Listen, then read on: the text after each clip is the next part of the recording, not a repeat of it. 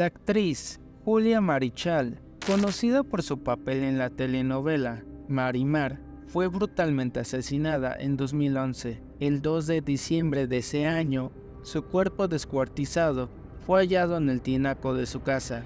Tras días de búsqueda por parte de su familia, Marichal, tía de los cantantes Kalimba y Embalia, fue víctima de un feminicidio. Pedro Castellano, su asistente, y Ana Betsaida confesaron ser los autores del crimen.